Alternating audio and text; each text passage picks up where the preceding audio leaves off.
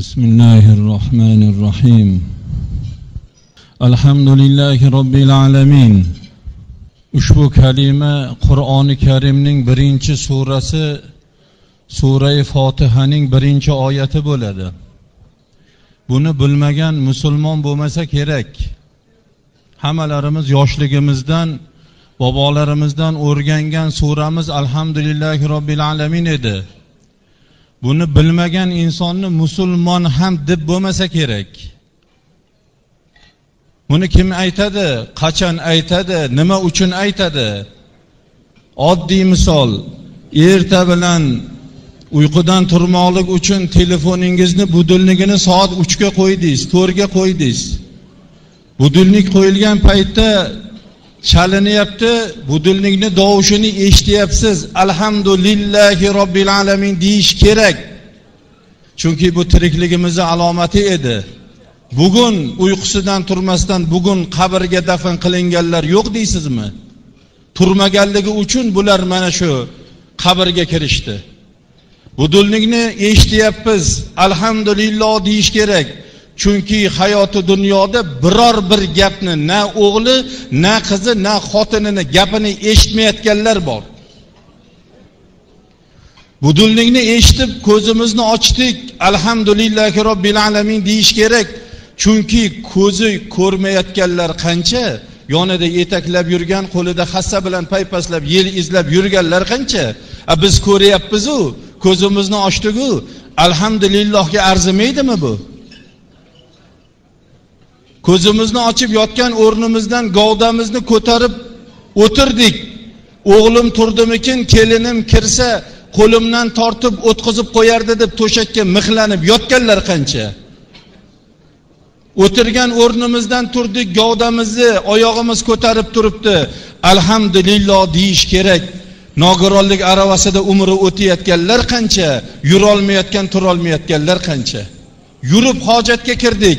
Hojatga kirib kecha yegan ichganlarimizdan bizga azob beradigan bizni behalovat qiladigan xotirjamligimizni o'g'irlaydigan azob beruvchi narsani shundoq masajsiz ukolsiz tabletkasiz chiqarib yubordik. Alhamdulillahillazi azhaba annil aza val afani. Janob payg'ambarimiz sollallohu alayhi vasallam duo o'rgatdilar hojatdan chiquvchi insonga. Parvardigoro mani vujudimda menga azob berib mani behalovat qiladigan azob beradigan narsani vujudimdan chiqarib tashlab menga ofiyat xotirjam hayot berganing uchun senga hamdu sano bo'lsin deb duo qilinglar dedilar. Hammalarimiz bugun necha marta hojatga kirdik? Biror bittamiz shu duoni xayolimizga keldimi? Shu duoni o'qidikmi? Mana shu azobdan qutqargan ollohga hamdu sano aytdikmi?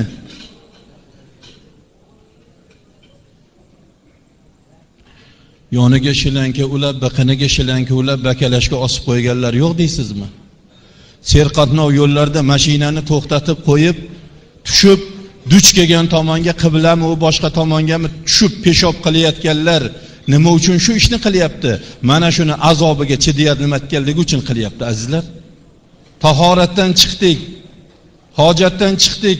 Kranni ochib qo'limizni betimizni yuvyapmiz alhamdulillahillazi ja'alal ma'a tahuran. Parvardigoro mana bu suvni poklaguvchi qilib yaratganing uchun senga hamdu sano bo'lsin deb duo aytinglar dedilar. Tasavvur qiling suv bo'lmasin. Hojatdan chiqib qaysi birimiz jur'atimiz yetadi dasturxonga kelib non ushlashlikka. Er xotin jinsiy munosabatdan keyin g'usul qilmasdan qaysi bir inson yurak yutib ko'chaga chiqadi g'usuldan poklanmasdan. Bizlar hojatga kirganimizda knopkasini shundoq bosganimizda chashagin unutazni o'sha hojatimizni najosatni sho'r etib yuvib ketadigan 5 litr suvni afrika degan mamlakatlar bor yetti uxlab tushida ko'rmagan bunaqa tiniq bunaqa chuchuk suvni. Qaysi birimiz hamdi sano etyapmiz. Hojatdan chiqdik tahoratlarni qildik. O'zimiz salomat ota onamiz salomat ayolimiz xotin bola chaqamiz salomat. Vaholanki bugun kecha kechqurun bugun kunduzi otasiga onasiga farzandiga o'g'liga qiziga tez yordam chaqirib skoriy chaqirib hozir больницada reanimatsiyada yotgan eshiklarda kutib o'tirganlar qancha? Bizga bundoq sinovlar bo'lmadi. Alhamdulillohga arzimaydimi? Yurtimiz tinch. Alhamdulillah tiq etgan narsa yo'q. Ikki ming kilometr nariyoqda ahvol chatoq. Boshidan o'qlar o'tib uchib o'tyapti. Qo'shnisini uyini kechqurun bomba tushib oilasi bilan qirilib ketdi. A biz alhamdulillah demaylikmi bu tinchlikka?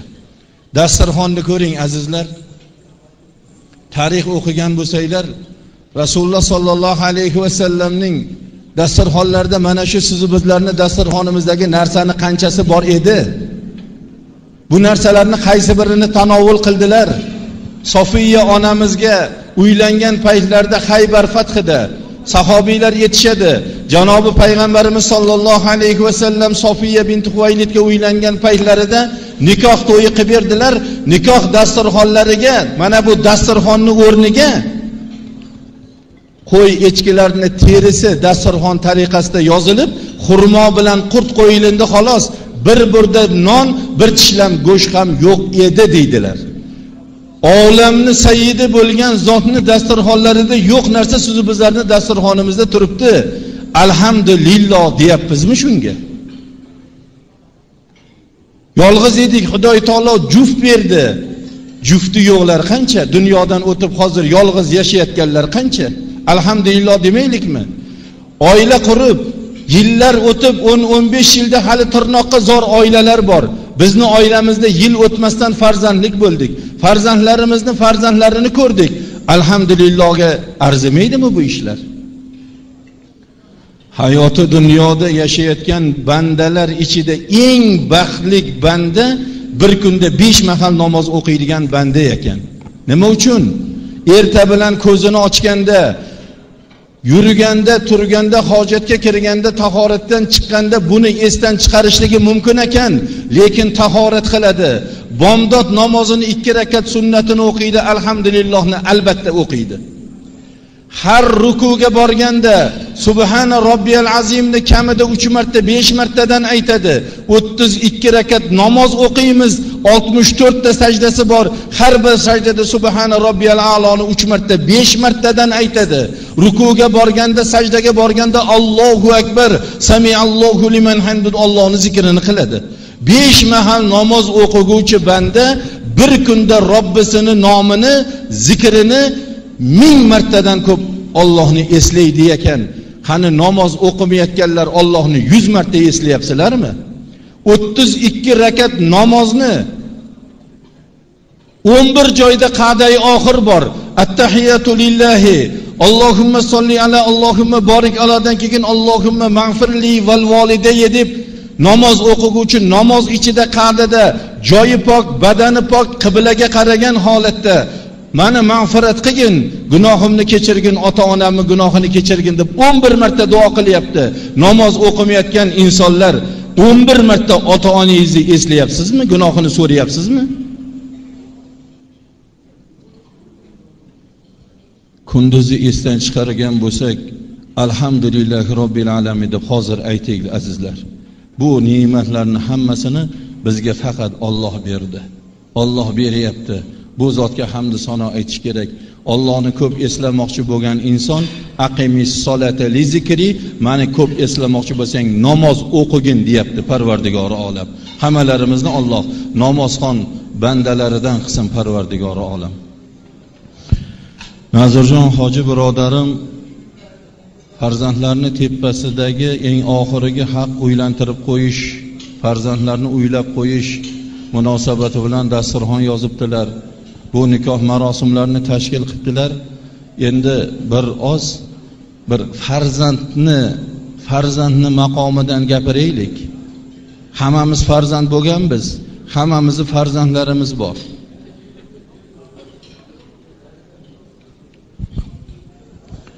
Mana shu suhbatdan xulosa olinglar. Shu besh toifa farzandni gapirganlar hukamolar. Besh toifa farzand bor ekan. Xohlang xohlamang mana shu beshtani bittasiga bittamiz to'g'ri kelamiz. Bu manga taalluqli gap emas ekan demanglar hammamizga tegishli narsa. Hukamolar aytibdilar farzandlar besh toifa bo'ladi debdilar. Birinchi farzand toifasi. Ota onani buyurgan birorta ishini qilmas ekan. Kimga kerak bunaqa farzand? Kim xudodan shunaqa farzand so'ragan parvardigor manga bir farzand berginu birorta ishda manga itoat qilmasin mani aytganimni qilmasin deb so'ragan mard bormi shu yerda? Yo'q. Solih va soliha farzand ato qilgin deb so'raladi duolarda. Birinchi toifa farzand ota onani buyurganini mutloq qilmas ekan. Oqlikni ulamolarimiz o'ttiz olti toifasini sanabdilar. Farzandni ota onaga oq bo'lish turini o'ttiz olti turi bor ekan. O'shani birinchi toifasi birinchi pag'onasi oqlikni. Farzandni yomonlig'idan ota onani ko'ziga yosh kelib kiprigini tagi nam bo'lib qolsa oq bo'lar ekan farzand ota onaga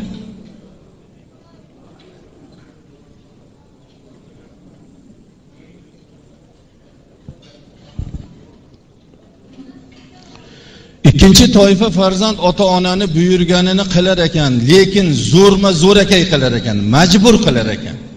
Ish buyurganni o'zidayoq burnini tirishtirib yuzini tirishtirib ish buyurayotganligini yoqtirmayotganligini sezdirib qo'yar ekan.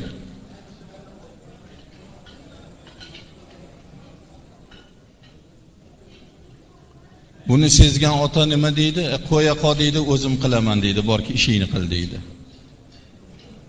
Bu farzand ota onani buyurganini majburan qilganligi uchun hech qanaqa savob berilmas ekan bu ota bu farzandga. Uchinchi toifa farzand ota onani buyurganini qilar ekan qilib minnat qilar ekan ketidan. Hajga dedingiz qaysi pulingizga borib keldingiz der ekan? Kasal bo'ldingiz bemor bo'ldingiz banisada yotdingiz qaysi oylik qaysi pensiyangizga dori oldingiz der ekan? Yeganiz oldida yemaganingiz orqada maza qilib o'tirsangizchi yana nima istaysiz mandan der ekan?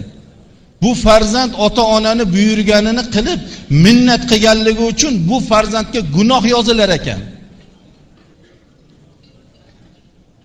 Mana shu uch toifa farzandni qaysi biriga mansubmiz qani? Kecha otamiz tirikligida. Birinchisini ishini qildikmi ikkinchisinimi uchinchisinimi bugun farzandlarimiz qaysi birini ishini qilyapti? Foziljon Qorakamlarni tanimagan eshitmagan odam bo'lmasa kerak. Alloh rahmat qilsin ustozimiz. Otalarini yosinxon to'ram degan zot o'tganlar. sakson besh sakson olti sakson yettinchi yillarda aqllari zoyi bo'lib qolgan ekan majnun bo'lib qolgan ekanlar. Qorakam masjidda ishlayman deydilar bir mashinam bor. Uyga kelaman dadamlar qo'y bolam meni uyimga olib borib qo'ygin deb aytadilar deydi. Uyimga olib borib qo'ygin. O'zlarini uylarida uyimga olib borib qo'ydi ekan. Mashinamga o'tkazamanda ko'chalarni aylantirib olib kelib aylantirib olib kelib uyga olib kelaman.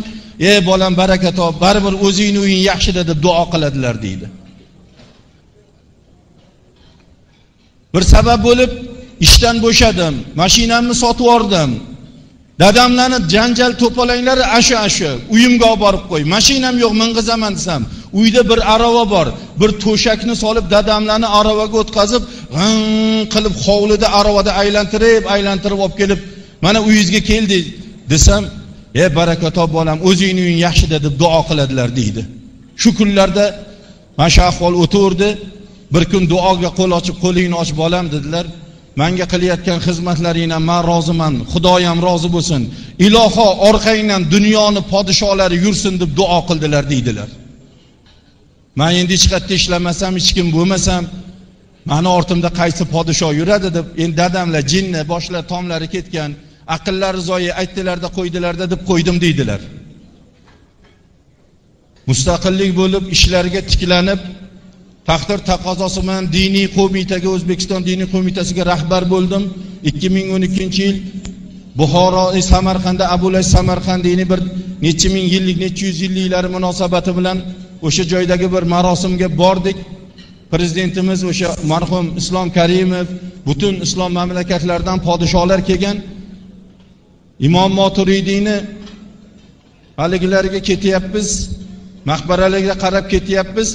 Islom karimov bolam haligi qoraka siz oldinda yuring deb mani oldinga o'tqizib yubordi deydilar. Oldinda o'tib ketyapman orqamda dunyo podsholari kelyapti yig'layapman.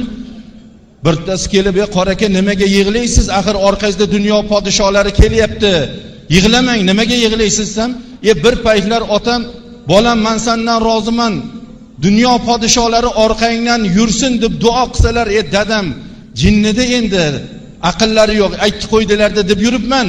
Dadamlarni o'sha duolari ijobat bo'lgan ekan mana podsholarni oldida yuribman degan ekanlar. U sizu bizlar birovni jinni deyishimiz mumkin ekan. Lekin ota duo qilsa ona duo qilsa farzandni bu jinniku demas ekan duosini qabul qilaverar ekan parvardigor.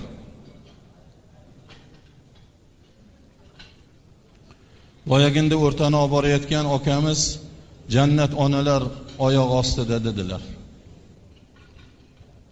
Onalar sahobiylarga aytdilar o'tirganlarida payg'ambar alayhissalom jannat sizlarni tuqqan onangizni oyoq ostida deganlar sahobiylarga aytganlar. Onani haqqini ado qilgan mard bormi shu yerda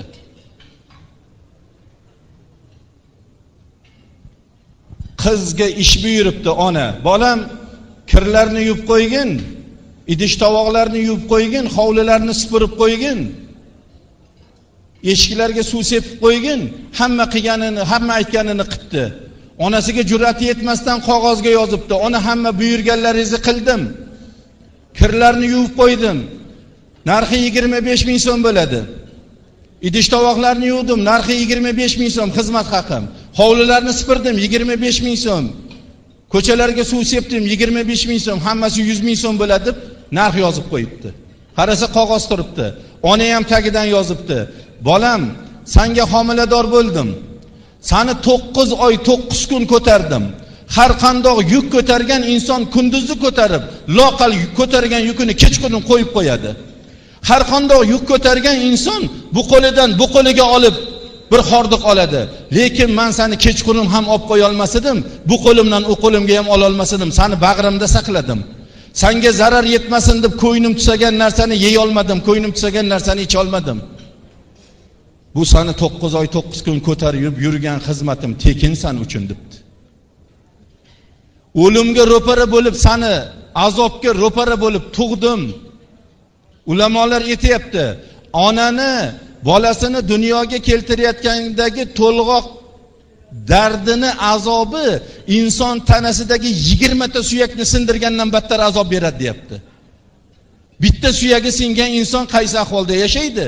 Ikkita uchta suyagi singan inson qaysi ahvolda yashaydi? Endi yigirmata suyagi singan insonni hayotini yurishini turishini ko'z oldingizga keltiring. Onalar mana shuncha azobni tortib tug'ar ekan. Mana shu xizmatim ham sanga tekin debdi. Dunyoga yig'lab kelding. Ko'ksimdan oppoq sut berdim. Birinchi xizmatim birinchi vazifam faqat sani qorningni to'yg'izish sani uxlatish sani oq yuvish tinchlatishadi. Tinchlatish edi sutni ichasan bir ikki soatdan keyin ana shu sutni najosat qilib chiqarasan man hazar qilmay jirkanmasdan hazar qilmasdan sani o'sha axlatlaringni tozalardim. Non yeydigan qo'lim bilan ana shu axlatingni ushardim. Shu xizmatlarim tekin deb shu kunigacha bo'lgan hamma xizmatlarni yozibdi. Endi aqlimizga vijdonimizga savol qilaylik.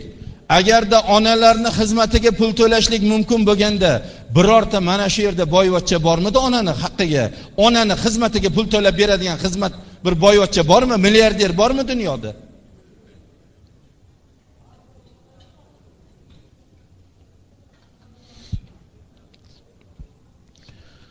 To'rtinchi toifa farzand loqal shunisi nasib qilsin.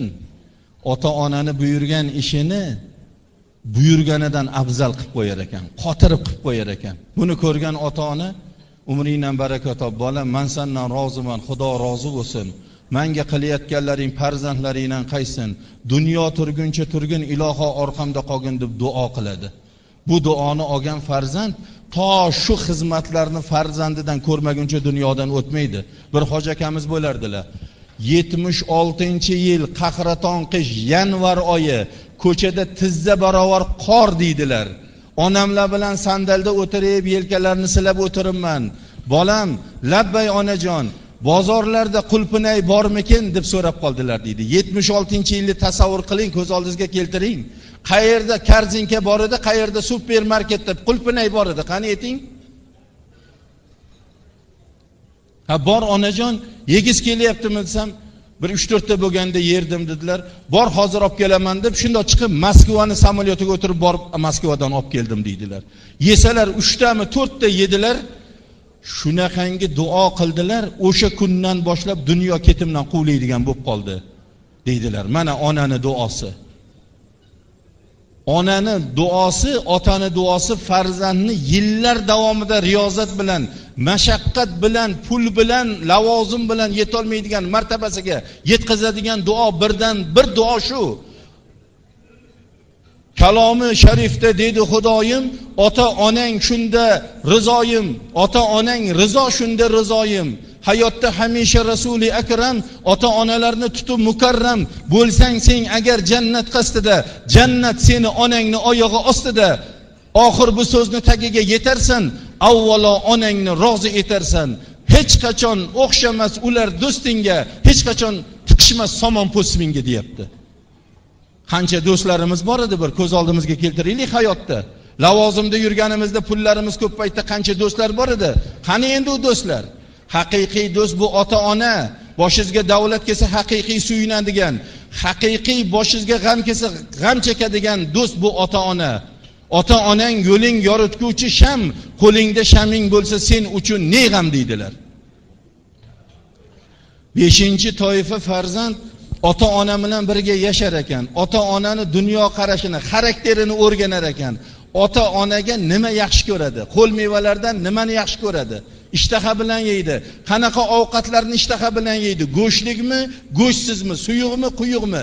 Hammasini bilib bu narsalarni ota ona buyurmasdan turib muhayyo qilib qo'yar ekan.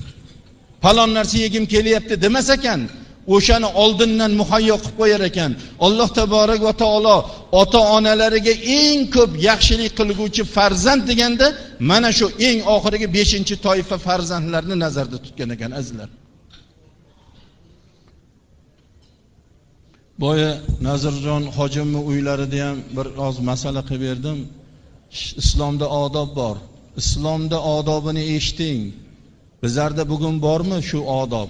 Shu xonadonimizda farzandlarimizdan ko'ryapmizmi? Yo bizlar kecha ota onamizga qildikmi? Bu odob nima? Erta bilan uyqudan turdingiz. Alhamdulillah duogo'y ota onangiz bor uyda duogo'yingiz. Oldilariga kirdingiz. Hozir kirayotganlar bor kirmayotganlar bor. Bir uyda turib otasi bilan ikki uch kunda ko'rishadiganlar bor ko'rishmaydiganlar bor. Erta bilan hammanglar eshitib olinglar ota onasi borlar. Ota ona bilan ko'rishgan paytda assalomu alaykum. Ota onani qo'lini o'pib peshonaga surib ko'rish bor. Qaysi biringlarni ota farzandinglar bugun qo'linglarni o'pib ko'rishdi? Bormi shu joyda? Bitta oila bormi? Qo'lingizni o'pib peshonasiga surgan farzand bormi shu yerda? Shu ota bormi? Yo'q. Nima uchun yo'q? Yo'qligi oddiy narsa. Chunki kecha ota onalarimiz tiriklik paytida bizlar ularni qo'lini o'payotganligimizni ko'rmadi ular. Qush uyasida ko'rganini qiladi. Agar kecha biza otamiz onamiz tiriklik paytda qo'llarini o'pib peshonamizga surganimizda edi bugun farzandlarimiz qo'limizni o'pib peshonasiga surayotgan bo'lardi. Nima uchun o'pish kerak bu qo'lni? Bu qo'lni shuning uchun o'pish kerakki bu qo'lni o'rinbosari yo'q. Bu qo'l o'tgandan keyin otangiz o'rniga amakingizni ham tog'angizni ham o'tkazib qo'ya olmaysiz. Onangizlarni o'rniga ammani bilan xolani ham o'tkazib qo'ya olmaysiz. Bu bitta qo'l dunyoda. Dunyo podsholigi bitta bo'lsa ham dunyodan o'tsa ikkinchi podshoh davom ettirib ketaveradi. Katta bir tashkilotni rahbari o'lsa uni muovini ishni davom ettirib ketaveradi. Lekin oilamizda otamiz o'tsa onamiz o'tsa bularni o'rniga o'tkazadigan o'rinbosar yo'q. Mana shuning uchun bu qo'lni o'pish kerak. Otalarni qo'llariga qarang. Ajin bosib bugun qaltiroq bosib qo'lidagi narsani usholmayapti. Nima uchun? Kim uchun? Farzand uchun emasmi? Farzandim o'qimishli bo'lsin farzandim uyli bo'lsin oilali bo'lsin mashinali bo'lsin deb bu qo'llar kecha loyni loy changallab issiqni issiq sovuqni sovuq demasdan tinimsiz mehnat qildi. Mana shu qo'l sababidan bugun savlat to'kib o'tiribmiz. Bu qo'lni o'pishga arzimaydimi endi? Bir joyda mana shu masalani aytsam amri ma'ruf qilsam amri ma'rufdan ko'chaga chiqqandan keyin bir yigit keldi. Qori aka hozir ota onani qo'lini o'pish haqida gapirdi gapirdim. Ularni qo'lini o'payotgan paytimizda ularni qo'lida infeksiya bo'lsachi deyapti. Man aytdim yoshing nechida sani dedim yigirma yettida dedi. Yigirma yetti yil oldin pampers ham yo'q edi dedim. Oyog'ingni uchidan mana bu yeringgacha infeksiyaga qorishib yotuvding axlatingga qorishib yotuvding. Axir shu qo'lku sani tozalagan. Bolamni infeksiya bosib ketibdi demadiku sani oq yuvib oqtaradi. Xotiningni labida pomada bo'lsa infeksiya demayapsanku badbaxt desam man buyog'ini o'ylamanman deydi o'lganda o'ylaysanmi? Qachon o'ylaysan? Yigirma yettiga chiqib o'ylamasang. Bir oilaviy mojaroga bordik ota ona infarkt insult bo'lib qolgan badbaxt farzand mana shundoq o'tiribdi. Odob haqida gapirib keldim oyatlardan hadislardan gapirib keldim. Oxiri mana ota onangni qo'lini o'pish bor shu o'p qo'lni o'pyapsanmi desam o'tiribdi. Buni o'ylab ko'rish kerak qora aka deydi. Man o'zini qo'lini ikki marta o'pib misol tariqasida ko'rsatdim. Otangni bundoq o'pasan onangni bundoq o'pasan desam o'ylab ko'rish kerak deydi. Ey man aytdim badbaxt dedim. San hozir mana shu isqirt qo'lingni ikki marta o'pib peshonamga surdim. Man bu qo'lingdan bir so'm pul olmaganman bir burda non yemaganman. Sanga pul bergan sanga non bergan qo'lni o'pgin deyapman. Desam ko'zidan yosh chiqarib mani kechiring. Kechirimni mandan emas ota onangdan so'ragin. Shu og'irmi shu qo'lni o'pish? Yo arzimaydimi bu? O'pishga arziydigan qo'l emasmi bu? Hozir nima uchun kelinlar qaynataga qaynonaga tikka qarayapti sammanga boryapti? Nima uchun? Farzandni o'zi ustozlik qilyapti bu borada. Otasiga qarshi gapiryapti onasini chakagini o'chiryapti aralashmang mani ishimga aqlingiz yetmaydi deyapti kelinni oldida xotinni oldida qilyapti. Xuddi shuni ishga ketgandan keyin xotini qaynota qaynonaga shu muomalani qilyapti. O'shaning uchun qaysi bir xonadonda ota onani qo'li o'pib peshonaga surilar ekan tasavvur qiling. O'g'lingiz keldida qo'lingizni o'pib ota duo qiling deb duo so'rasa nimani so'rab bermaysiz? Qani? Bormi birorta qizg'anadigan yashiradigan narsangiz? Mana buni bugundan qilish kerak azizlar. Ertaga kech bo'lib qolishligi mumkin chunki bu qo'l yo'q bo'lib qolishligi mumkin. Oramizdan ana shu uchun ota onani qo'lini o'pib bugun duo olaylik. Ota onani duosini olgan inson o'tda yonmaydi. Foziljon qorakam ustozimizni ko'p gaplari bor. O'tda cho'k o'tda yonmaydi suvda cho'kmaydi. Tegirmonga chiqsa butun chiqadi. Ota onang yo'ling yoritguvchi sham qo'lingda shaming bo'lsa sen uchun ne g'am? Imomlardan duo so'rayaptiku domlalardan qori aka duo qiling ishim yurishmayapti qori aka duo qiling safarga ketyapman qori aka duo qiling ish boshlayapman qori aka duo qiling qarzdor bo'lib qoldim man aytaman qori aka bir marta duo qiladi tuzukroq bersangiz ikki marta qiladi uchinchi marta вообще qilmaydi. Ota onangiz bersangiz ham qilaveradi bermasangiz ham qilaveradi. Qaytaga berolmayotganni ko'proq qiladi shuni ham beradiganlardan qilgin ishini o'nglagin akasidan kam qilmagin deb. Bunaqa duoni qattiq kim qilib beradi? Kabatullohni imomi ham qilib berolmaydi ota onangizni qilgan duosini. O'shaning uchun ota onani duosini olish kerak. Hayotingda madad kerak bo'lsa deydi. Madad so'zini teskarisiga o'qigin.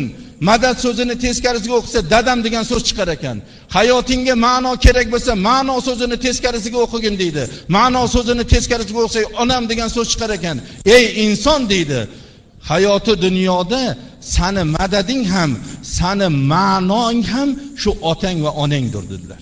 Boya bu okamiz aytdilaru otasi bolasini yelkasiga qo'yib kim zo'r deganda ikki marta man zo'r deganni nimaga? Otani borligi uchun shu gapni aytyapti. Otani duosi shu gapga majbur qilyapti. Otadan keyin onadan keyin suyanchiq tog'imiz yo'q azizlar ishonadiganimiz yo'q. Muso payg'ambar onalari o'tgan ekan. Onalarini tobut haligi kafallab tobutga solib qabristonga olib borsalar qabr qazib qo'yibdilar ekan. Muso alayhissalom kecha ona uyimda farishtam bo'lib o'tirgan oppoq libosda duogo'yim bo'lgan mehribonim onamni endi shu qabrga qo'yamanmi deb onalarni qabrlariga bag'rilariga bosib hushlaridan ketib qolgan ekan. Bir qancha vaqtdan keyin o'zlariga kelibdilar. Ey onamni ko'mishim kerak ahli farzandlik burchim onalarni ko'mibdilar. Tavrotdan tilovatlar qilib duo qilib shundoq qabristondan chiqsalar xudoy taolodan vahiy kelgan ekan. Ey muso bugundan boshlab o'zingizni ehtiyot qiling degan ekan. Ey parvardigor san bilan ko'p gaplashdim xo'p gaplashdim. Bir marta shu gapimiz orasida o'zingizni ehtiyot qiling demagan eding. Nima uchun aynan onam o'lgan kuni o'zingizni ehtiyot qiling deyapsan parvardigor degan ekan xudo taolo ey muso siz erta bilan uyingizdan ko'chaga chiqib ketganingizda parvardigoro muso o'g'limni o'zingga omonat topshirdim. Shikastlardan asragin yo'ldagi ofatlardan yomonlardan asragin bag'rimga salomat keltirgin deb duo qiladigan duogo'yingiz bor edi. Uyga kelganingizda keldingmi bolam mana buni ichib ol mana buni yeb ol deb sizga mehribon onangiz bor edi. Mana shu onangiz bugun duogo'y onangiz dunyodan o'tdi. Mana shu duo sababidan sizni ko'p shikastlardan saqlayotgandim. Bugundan boshlab o'zingizni ehtiyot qiling deb ogohlantiryapman degan ekan. Payg'ambari muso musoyi kalimulloh qur'oni karimda nomlari zikr qilingan ilohiy kitoblardan tavrotni qo'llariga qabul qilgan zot onani duosiga muhtoj ekan. Sizni bizlar kimmiz endi payg'ambarni oldida? Yo sizni bizlar muhtoj emasmizmi ota onani duosiga birodarlar? Hayolimizdan o'tkazaylik. Ota onasi o'tganlar. Ota onangiz kecha sizdan rozi bo'lib o'tdimi? Xursand bo'lib o'tdimi? Duo qilib o'tdimi? Bugun farzandlaringizga siz qanaqa munosabatda bo'lyapti? Farzandlaringiz sizni duoyingizni olyaptimi? Sizni rozi qilyaptimi? Mana bu besh toifani maqomiga bir qaraylik. Qaysi biri ekanmiz mana shuning uchun azizlar bundan xulosa olish kerak. Xatolarimiz bo'lgan bo'lsa kecha ranjitgan bo'lsak bugun borib oyoq qo'llarini o'pib duolarini olaylik. Qandoq qilib ranjitgan qandoq qilib yig'latgan bo'lsang shundoq qilib kuldirgin deganlar payg'ambar alayhissalom. Chunki ota onani rizosi bizlarni robbimizni rizo bo'lishligiga sabab bo'ladigan eng katta omil eng katta vosita mana shunda. Bularsiz hech kimmiz azizlar. Bugun o'tirgan maqomimiz bugun obro'yimiz bugungi ilmimiz bugungi cho'ntagimizdagi pulimiz bugungi qurgan uyimiz bugungi uyimizda turgan yashagan farzandlarni hammasi asosi mana shular. Mana shu uchun bularni xizmatlarini qilib duolarini olaylik azizlar.